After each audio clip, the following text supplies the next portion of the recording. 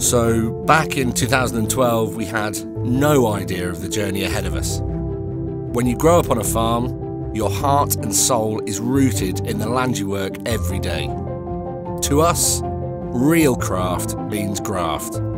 So we strive to make not just the best gin, but the most authentic. Like all farming, I guess, there's an honesty in the hard work that goes into every drop, and in knowing that every flavour tasted can be traced back to the land. Being gin farmers is no different. Uncompromising, handcrafted quality is at the heart of what we do.